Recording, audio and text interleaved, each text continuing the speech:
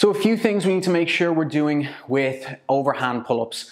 We wanna make sure that when we set up into position, we are able to squeeze the shoulder blades into what would be a retracted and a depressed position. What we don't want to see is we don't want to see ourselves in a very shrugged position trying to pull while we stay sort of shrugged that essentially isn't going to lead to a good contraction of the lat. The, lat. the lat is never quite going to get into its sort of maximally contracted position. The shoulder is never going to get set into a good position. And essentially what that shows is we're actually kind of pulling more with the arms than we are with the muscles of the back.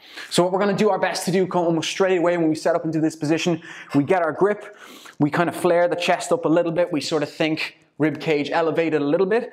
And then what we try to do is we try to squeeze the shoulder blades down and back, and then we use that momentum to sort of start the pull up. From there, then that's when we start pulling with the elbows, driving the elbows towards the hip, keeping the shoulder blades pinched down and back, and pulling the chest all the way up towards the bar. So you can see here kind of a full rep. I get that shrug and then I pull all the way up. I squeeze, I hold, I make sure I don't just drop and completely um, sort of relax all the way down.